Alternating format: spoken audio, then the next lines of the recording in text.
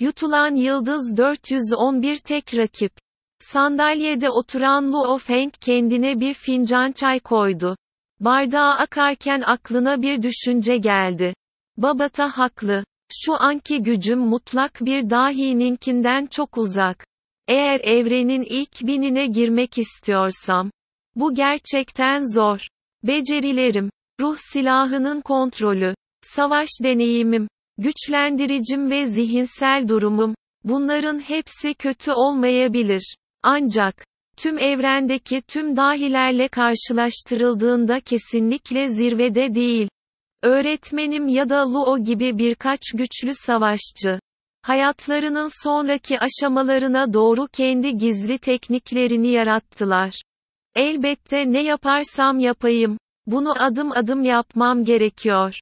Yavaş yavaş kendi tekniğimi yaratmadan önce ilk önce başkaları tarafından yaratılan teknikleri öğrenmeliyim.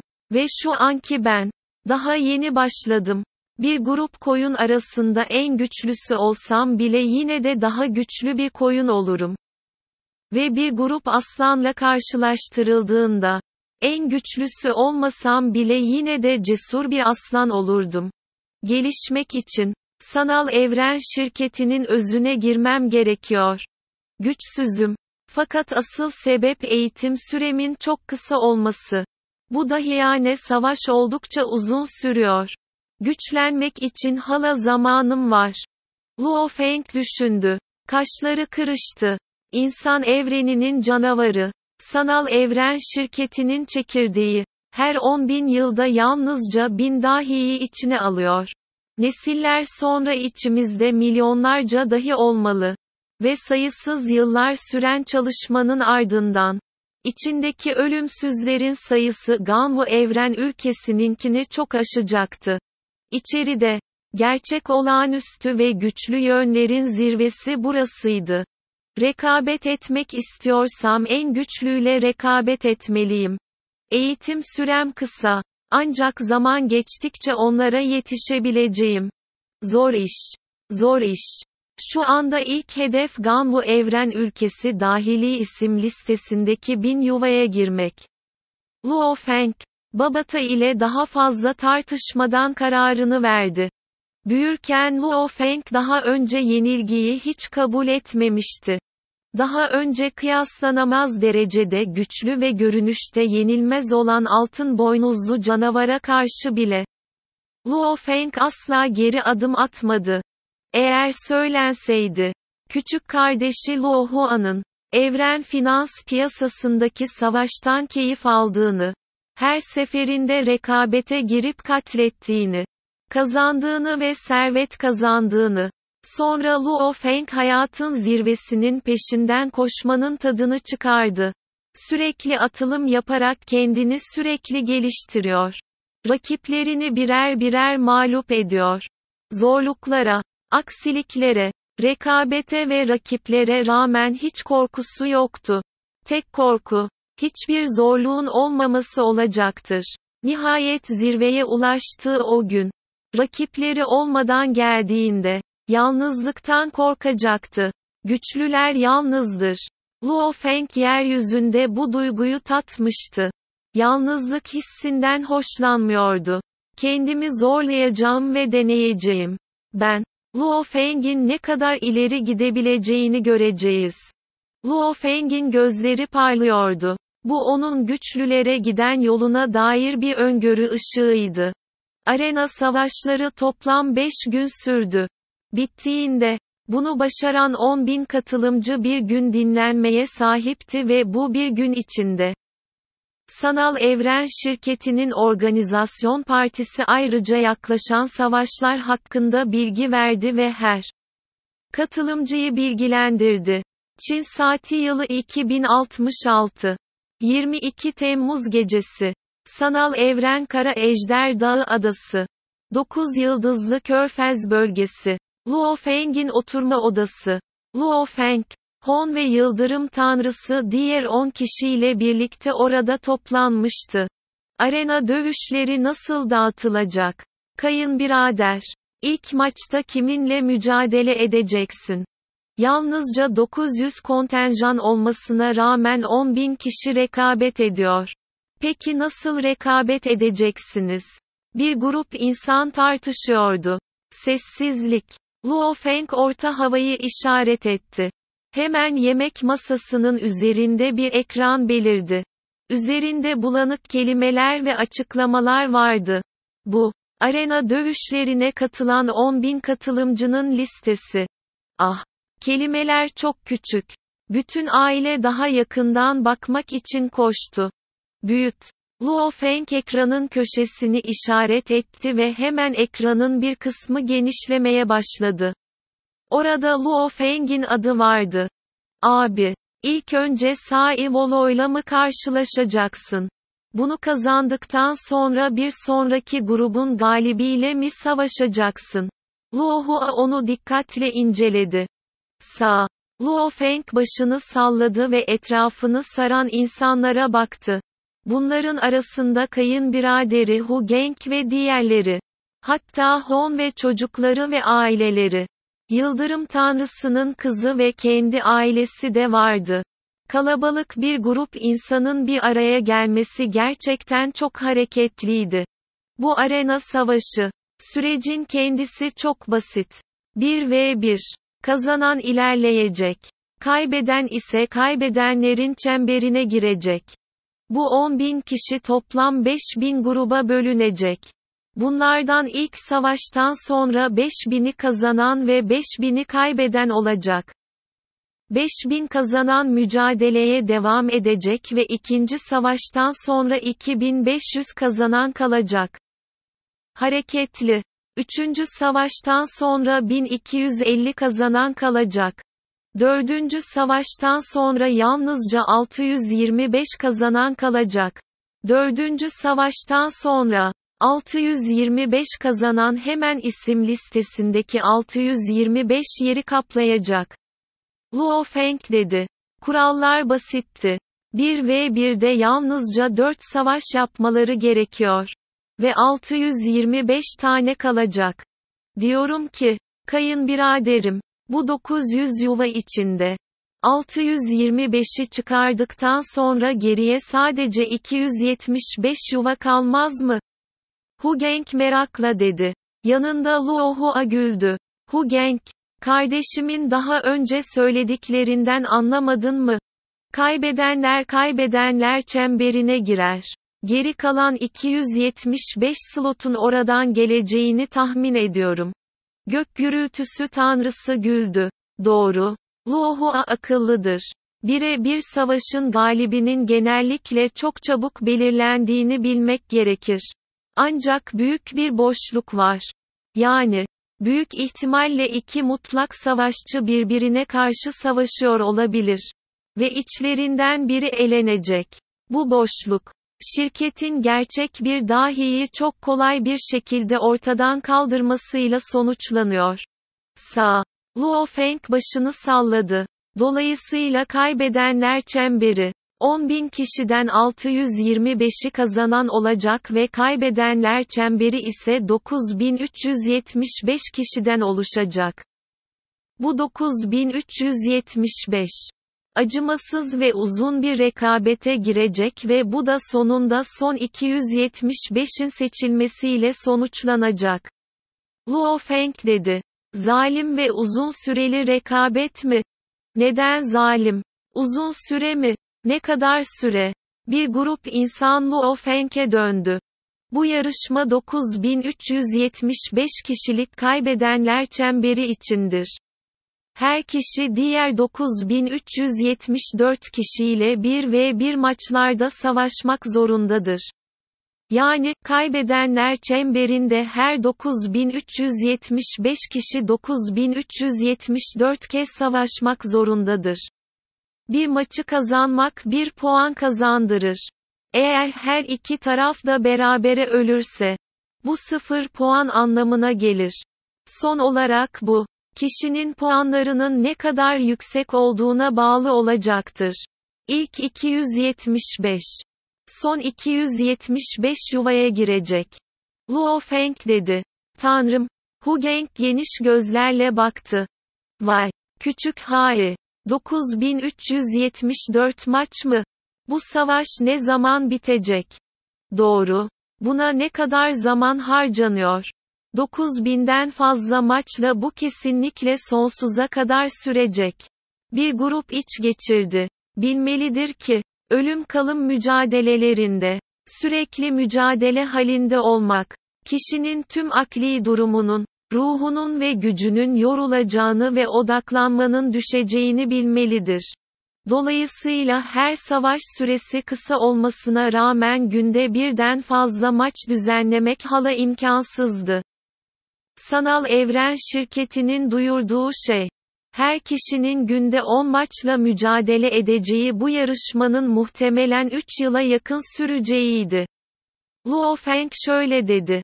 Ganwu Evren ülkesinin ilk Dünya Eleme Savaşı'ndan itibaren tüm dahiyane savaş. En uzun zaman alan öğe budur. 3 yıla yakın mı? Bu çok uzun. Arena dövüşleri çok hızlıydı.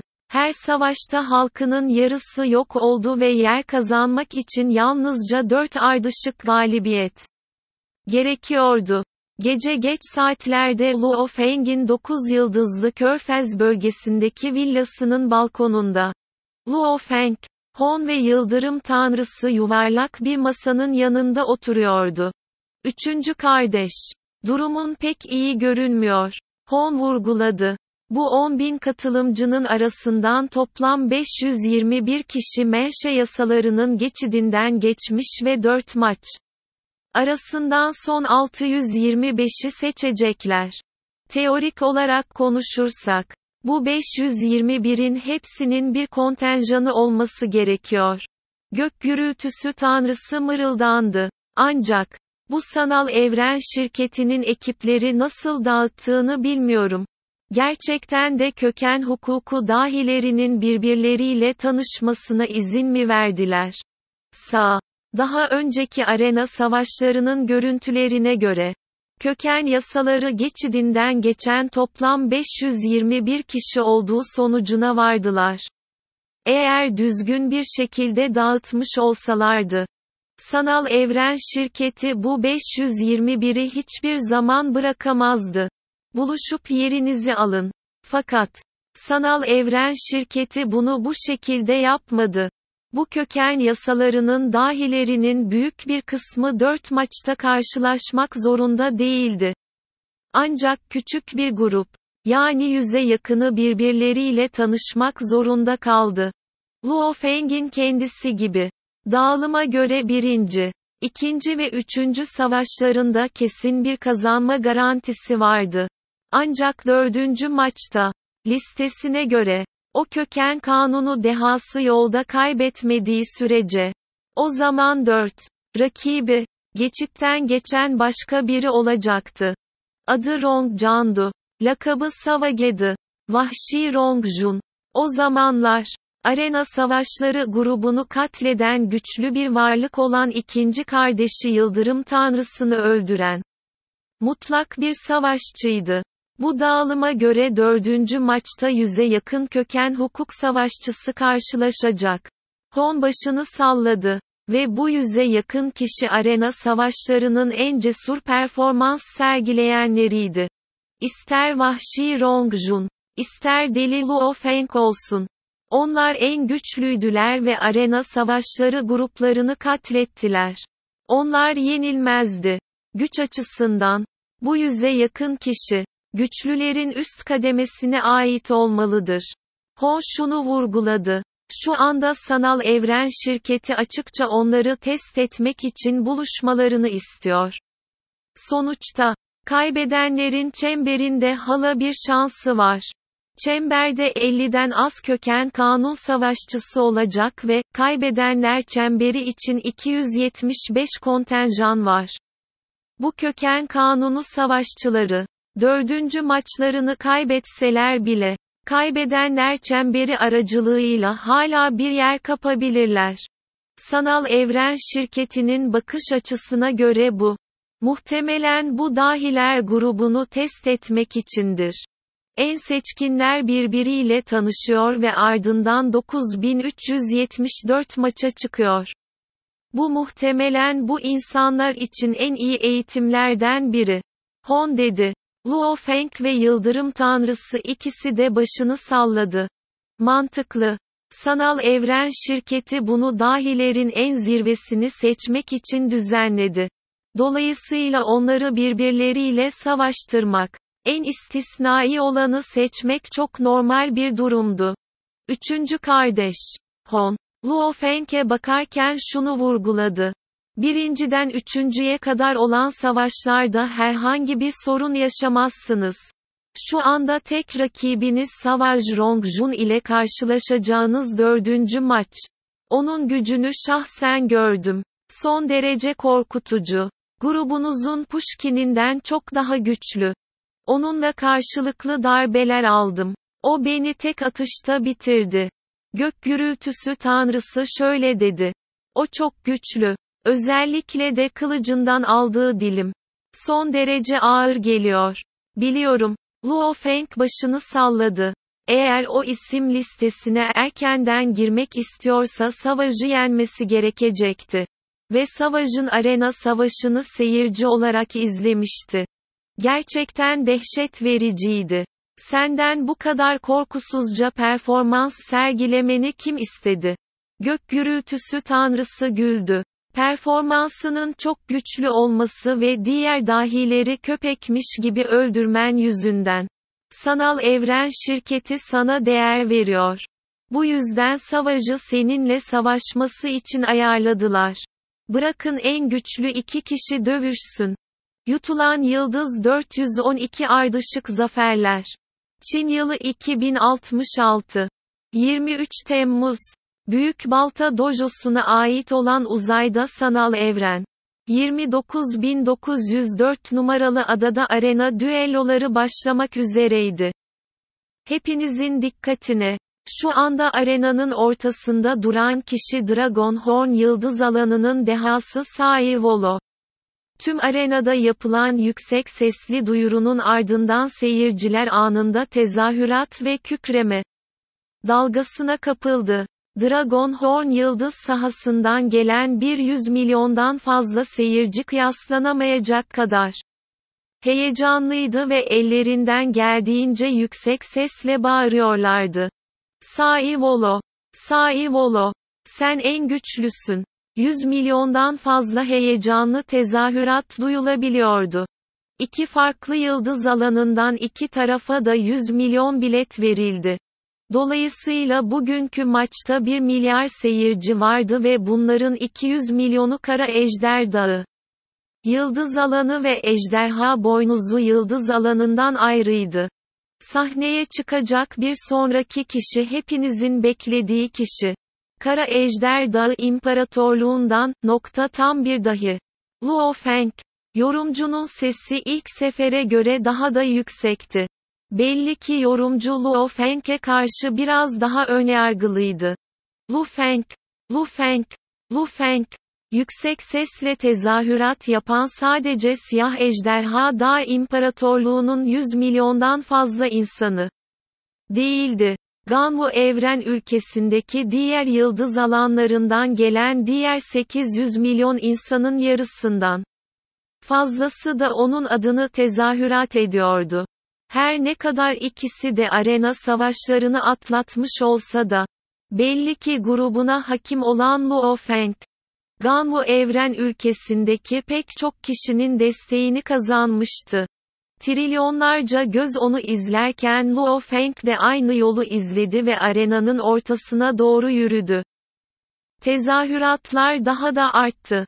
Farklı ırklardan sayısız insan hanımın hepsi bağırdı ve çığlık attı. Hatta bazıları bayıldı. %100 sanal simülasyon öyle bir etki yarattı ki vücut fonksiyonları bile simül edildi. Arenada iki genç duruyordu. Koyu altın rengi uzun bir sopası olan ve koyu gri zırh giymiş olanlardan biri. Siyah saçlı genç Luo Feng. Büyük bir tahtanın üzerinde duran. Gülümseyen ve nazik bir auraya sahip olan diğeri Sai Volo. Luo Feng. En iyi dileklerimle. Sai Volo saygıyla eğilerek tavrını sergiledi. Luo Feng hiçbir tepki vermeden orada öylece durdu. Bir yanardağ gibi tamamen zihinsel durumuna dalmıştı. Nedenini bilmiyordu. Her ne kadar Sai Volo karşısında çok nazik görünse de bu onda aşırı bir rahatsızlık hissi uyandırıyordu. Neden böyle bir duyguya kapıldığını açıklayamıyordu. Sen de, uzun boylu, sağlam yapılı ve yakışıklı bir yorumcu gülümsedi.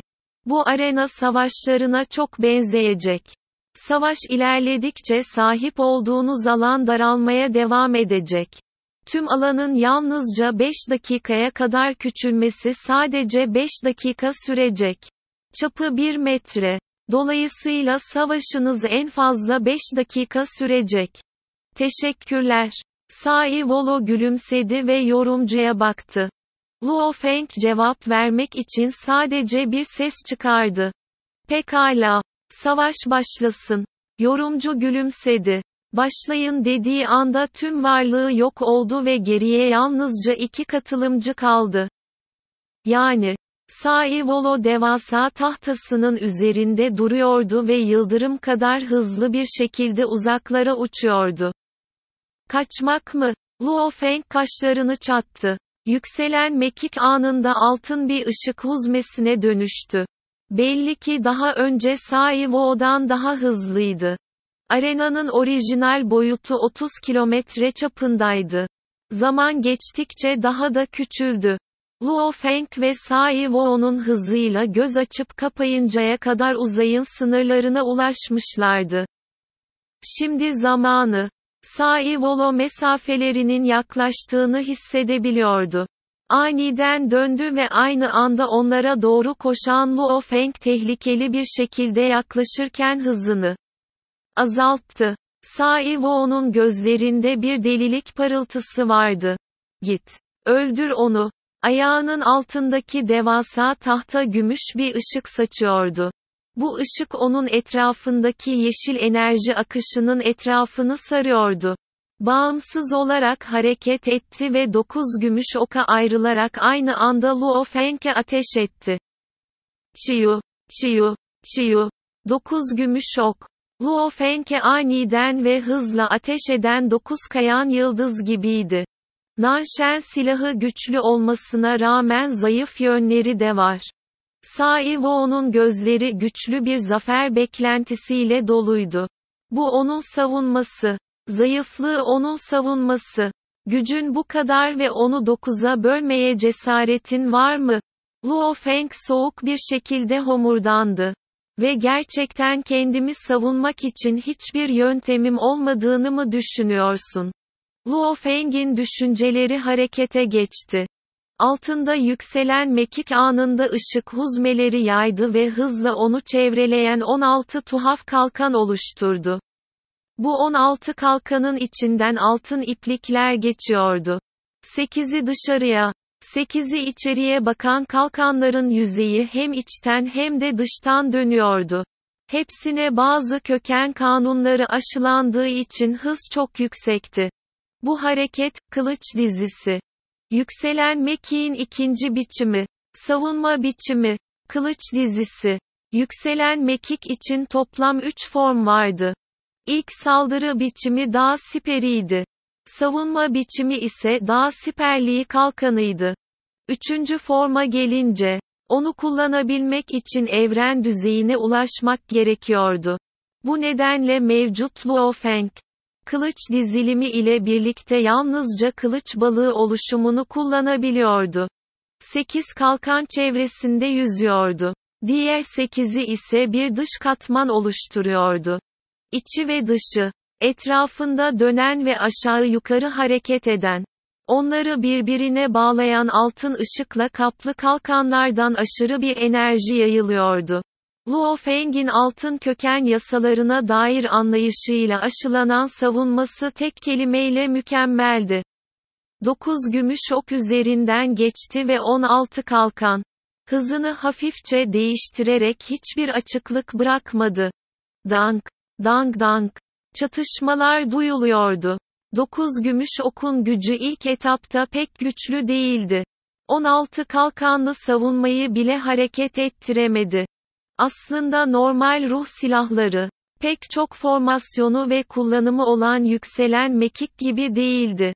Normal şartlar altında kişinin ruh okuma gücü ne kadar güçlüyse silah da o kadar odaklanmış olurdu. Saf bir saldıran ruh silahı. Saf bir savunma. Saf bir uçan. Altın güneşin gücünü ve delici gücünü temsil ediyordu.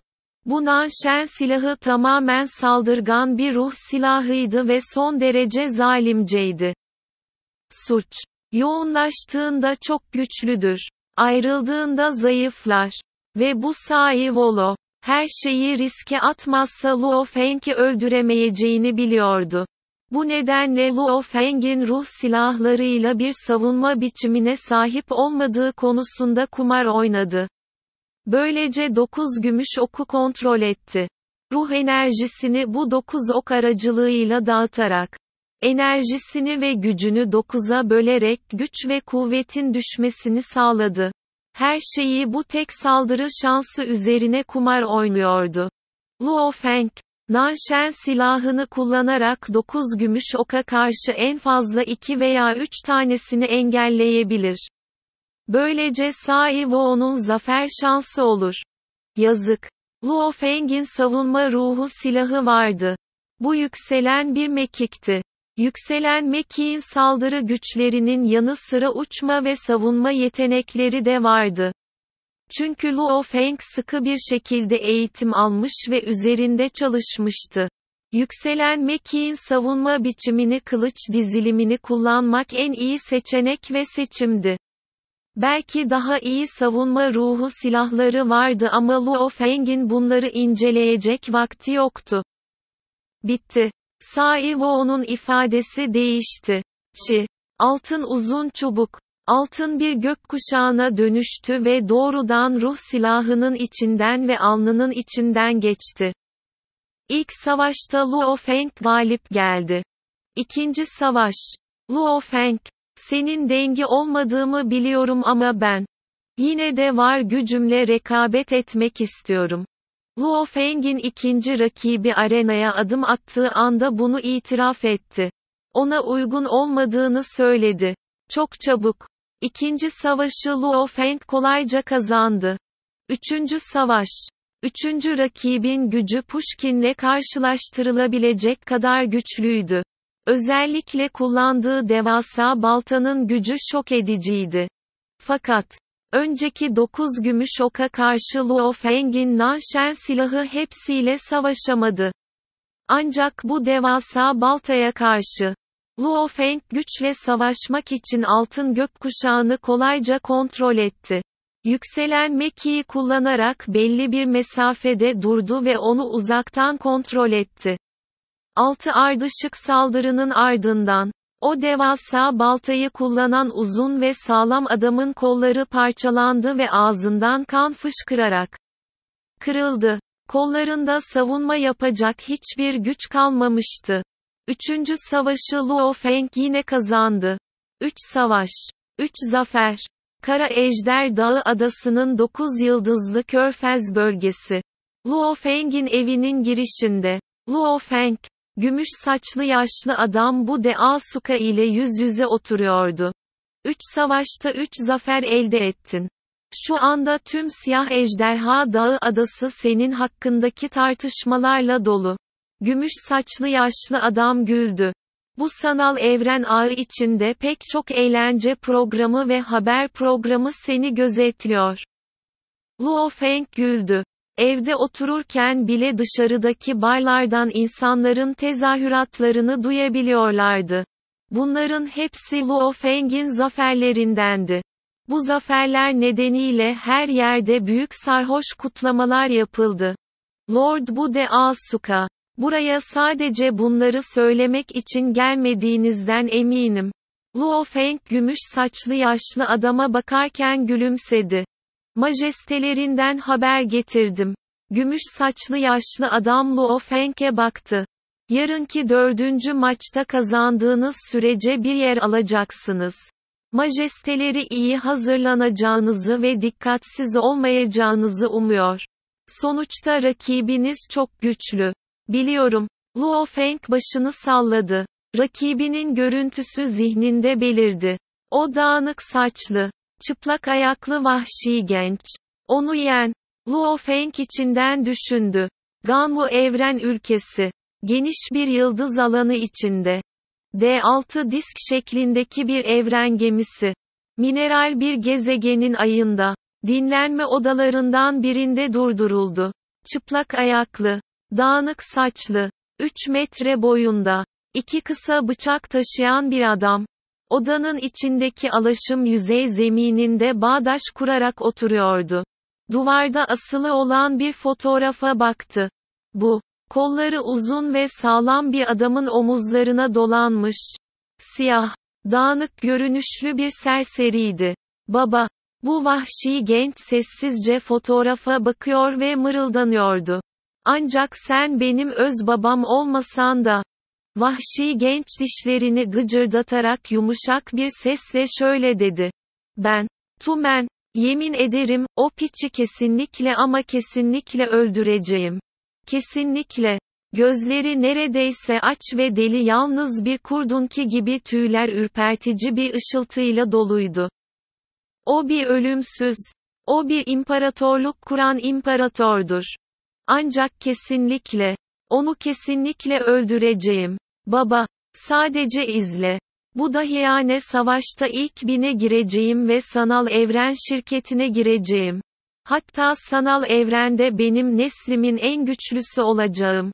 Şirket. Savaş yavaşça şöyle dedi. Ve onu öldürdüğüm gün, Tumen adını geri kazanacağım gün olacak.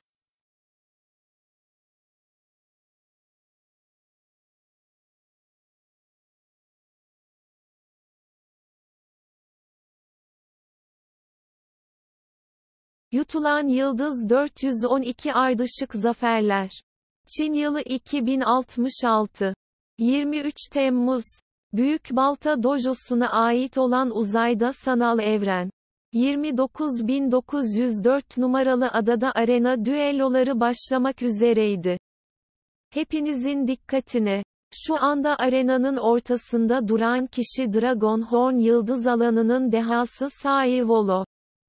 Tüm arenada yapılan yüksek sesli duyurunun ardından seyirciler anında tezahürat ve kükreme dalgasına kapıldı. Dragon Horn yıldız sahasından gelen bir yüz milyondan fazla seyirci kıyaslanamayacak kadar heyecanlıydı ve ellerinden geldiğince yüksek sesle bağırıyorlardı. Sai Volo, Sai Volo, sen en güçlüsün. 100 milyondan fazla heyecanlı tezahürat duyulabiliyordu. İki farklı yıldız alanından iki tarafa da 100 milyon bilet verildi. Dolayısıyla bugünkü maçta 1 milyar seyirci vardı ve bunların 200 milyonu Kara Ejder Dağı. Yıldız alanı ve ejderha boynuzlu yıldız alanından ayrıydı. Sahneye çıkacak bir sonraki kişi hepinizin beklediği kişi. Kara Ejder Dağı İmparatorluğundan, nokta tam bir dahi. Luo Feng. Yorumcunun sesi ilk sefere göre daha da yüksekti. Belli ki yorumcu Luo Feng'e karşı biraz daha önyargılıydı. Lu Feng, Lu Feng, Lu Feng, yüksek sesle tezahürat yapan sadece siyah ejderha dağ imparatorluğunun 100 milyondan fazla insanı değildi. Ganwu evren ülkesindeki diğer yıldız alanlarından gelen diğer 800 milyon insanın yarısından fazlası da onun adını tezahürat ediyordu. Her ne kadar ikisi de arena savaşlarını atlatmış olsa da, belli ki grubuna hakim olan Luo Feng, Ganwu evren ülkesindeki pek çok kişinin desteğini kazanmıştı. Trilyonlarca göz onu izlerken Luo Feng de aynı yolu izledi ve arenanın ortasına doğru yürüdü. Tezahüratlar daha da arttı. Farklı ırklardan sayısız insan hanımın hepsi bağırdı ve çığlık attı. Hatta bazıları bayıldı. %100 sanal simülasyon öyle bir etki yarattı ki vücut fonksiyonları bile simül edildi. Arenada iki genç duruyordu. Koyu altın rengi uzun bir sopası olan ve koyu gri zırh giymiş olanlardan biri. Siyah saçlı genç Luo Feng. Büyük bir tahtanın üzerinde duran, gülümseyen ve nazik bir auraya sahip olan diğeri Sai Volo. Luo Feng, en iyi dileklerimle, Sai Volo saygıyla eğilerek tavrını sergiledi. Luo Feng hiçbir tepki vermeden orada öylece durdu. Bir yanardağ gibi tamamen zihinsel durumuna dalmıştı. Nedenini bilmiyordu. Her ne kadar Sai Volo karşısında çok nazik görünse de bu onda aşırı bir rahatsızlık hissi uyandırıyordu. Neden böyle bir duyguya kapıldığını açıklayamıyordu. Sen de, uzun boylu, sağlam yapılı ve yakışıklı bir yorumcu gülümsedi. Bu arena savaşlarına çok benzeyecek. Savaş ilerledikçe sahip olduğunuz alan daralmaya devam edecek. Tüm alanın yalnızca 5 dakikaya kadar küçülmesi sadece 5 dakika sürecek. Çapı 1 metre. Dolayısıyla savaşınız en fazla 5 dakika sürecek. Teşekkürler. Sai Volo gülümsedi ve yorumcuya baktı. Luo Feng cevap vermek için sadece bir ses çıkardı. Pekala. Savaş başlasın. Yorumcu gülümsedi. Başlayın dediği anda tüm varlığı yok oldu ve geriye yalnızca iki katılımcı kaldı. Yani, Sai Volo devasa tahtasının üzerinde duruyordu ve yıldırım kadar hızlı bir şekilde uzaklara uçuyordu. Kaçmak mı? Luo Feng kaşlarını çattı. Yükselen mekik anında altın bir ışık huzmesine dönüştü. Belli ki daha önce Sai Vo'dan daha hızlıydı. Arenanın orijinal boyutu 30 kilometre çapındaydı. Zaman geçtikçe daha da küçüldü. Luo Feng ve Sai Wo'nun hızıyla göz açıp kapayıncaya kadar uzayın sınırlarına ulaşmışlardı. Şimdi zamanı. Sai Volo mesafelerinin yaklaştığını hissedebiliyordu. Aniden döndü ve aynı anda onlara doğru koşan Luo Feng tehlikeli bir şekilde yaklaşırken hızını azalttı. Sai Wo'nun gözlerinde bir delilik parıltısı vardı. Git. Öldür onu. Ayağının altındaki devasa tahta gümüş bir ışık saçıyordu. Bu ışık onun etrafındaki yeşil enerji akışının etrafını sarıyordu. Bağımsız olarak hareket etti ve dokuz gümüş oka ayrılarak aynı anda Luo Feng'e ateş etti. Çiyu, çiyu, çiyu. Dokuz gümüş ok. Luo Feng'e aniden ve hızla ateş eden dokuz kayan yıldız gibiydi. Nanshen silahı güçlü olmasına rağmen zayıf yönleri de var. Sai Wo'nun gözleri güçlü bir zafer beklentisiyle doluydu. Bu onun savunması. Zayıflığı onun savunması. Gücün bu kadar ve onu dokuza bölmeye cesaretin var mı? Luo Feng soğuk bir şekilde homurdandı. Ve gerçekten kendimi savunmak için hiçbir yöntemim olmadığını mı düşünüyorsun? Luo Feng'in düşünceleri harekete geçti. Altında yükselen mekik anında ışık huzmeleri yaydı ve hızla onu çevreleyen 16 tuhaf kalkan oluşturdu. Bu 16 kalkanın içinden altın iplikler geçiyordu. 8'i dışarıya, 8'i içeriye bakan kalkanların yüzeyi hem içten hem de dıştan dönüyordu. Hepsine bazı köken kanunları aşılandığı için hız çok yüksekti. Bu hareket, kılıç dizisi. Yükselen mekiğin ikinci biçimi. Savunma biçimi. Kılıç dizisi. Yükselen mekik için toplam üç form vardı. İlk saldırı biçimi dağ siperiydi. Savunma biçimi ise dağ siperliği kalkanıydı. Üçüncü forma gelince, onu kullanabilmek için evren düzeyine ulaşmak gerekiyordu. Bu nedenle mevcut Luo Feng, kılıç dizilimi ile birlikte yalnızca kılıç balığı oluşumunu kullanabiliyordu. 8 kalkan çevresinde yüzüyordu. Diğer 8'i ise bir dış katman oluşturuyordu. İçi ve dışı, etrafında dönen ve aşağı yukarı hareket eden, onları birbirine bağlayan altın ışıkla kaplı kalkanlardan aşırı bir enerji yayılıyordu. Luo Feng'in altın köken yasalarına dair anlayışıyla aşılanan savunması tek kelimeyle mükemmeldi. 9 gümüş ok üzerinden geçti ve 16 kalkan. Hızını hafifçe değiştirerek hiçbir açıklık bırakmadı. Dank, dank dank. Çatışmalar duyuluyordu. 9 gümüş okun gücü ilk etapta pek güçlü değildi. 16 kalkanlı savunmayı bile hareket ettiremedi.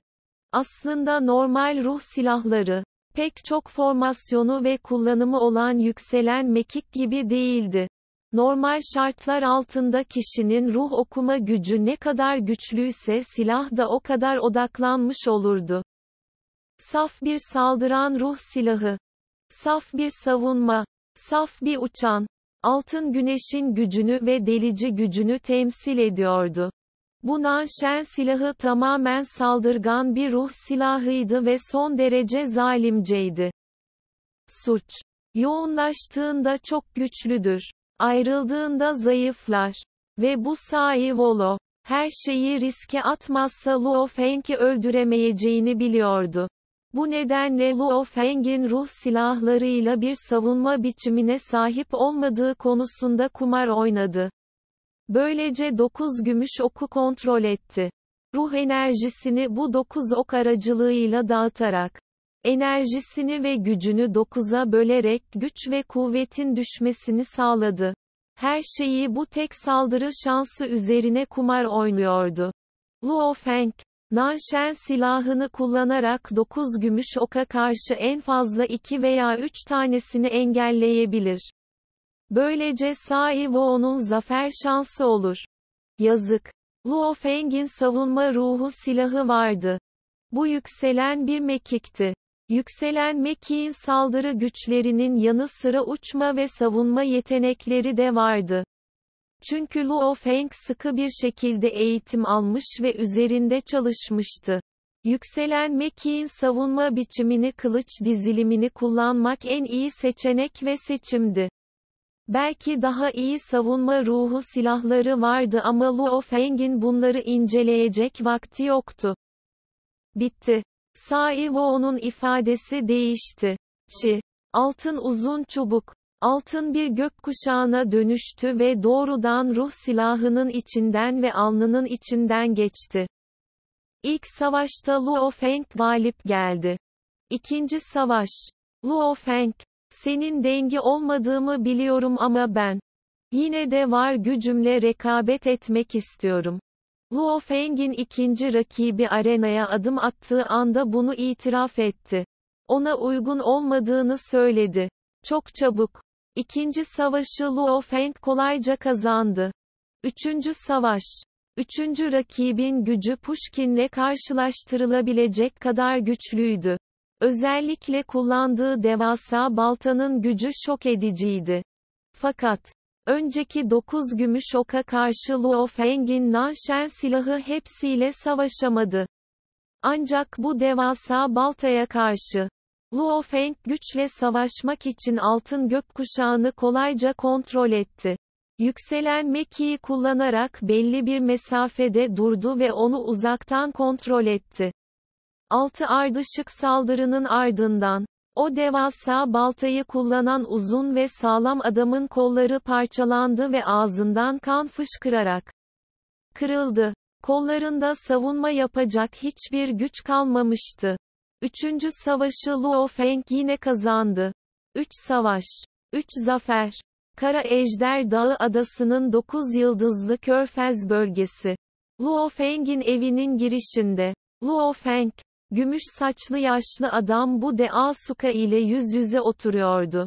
Üç savaşta üç zafer elde ettin.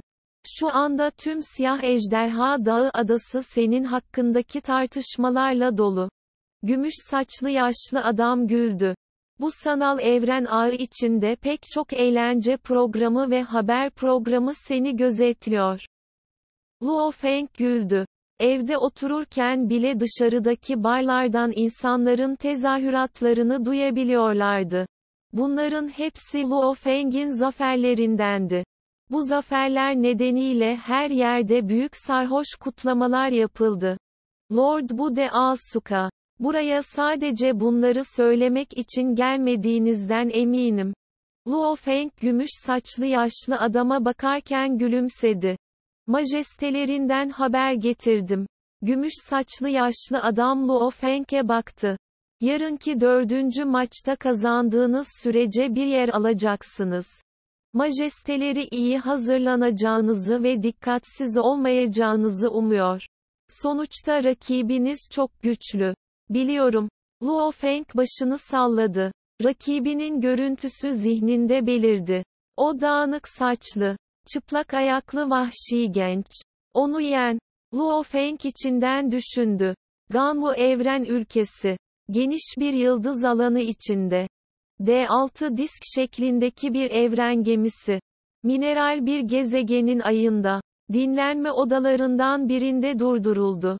Çıplak ayaklı, dağınık saçlı, 3 metre boyunda, iki kısa bıçak taşıyan bir adam. Odanın içindeki alaşım yüzey zemininde bağdaş kurarak oturuyordu. Duvarda asılı olan bir fotoğrafa baktı.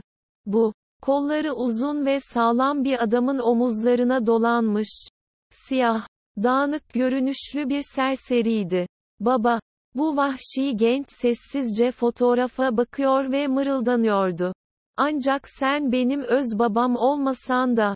Vahşi genç dişlerini gıcırdatarak yumuşak bir sesle şöyle dedi. Ben, Tumen, yemin ederim, o piçi kesinlikle ama kesinlikle öldüreceğim. Kesinlikle. Gözleri neredeyse aç ve deli yalnız bir kurdunki gibi tüyler ürpertici bir ışıltıyla doluydu. O bir ölümsüz, o bir imparatorluk kuran imparatordur. Ancak kesinlikle, onu kesinlikle öldüreceğim. Baba, sadece izle. Bu dahiyane savaşta ilk bine gireceğim ve sanal evren şirketine gireceğim. Hatta sanal evrende benim neslimin en güçlüsü olacağım. Şirket. Savaş yavaşça şöyle dedi. Ve onu öldürdüğüm gün, Tumen adını geri kazanacağım gün olacak.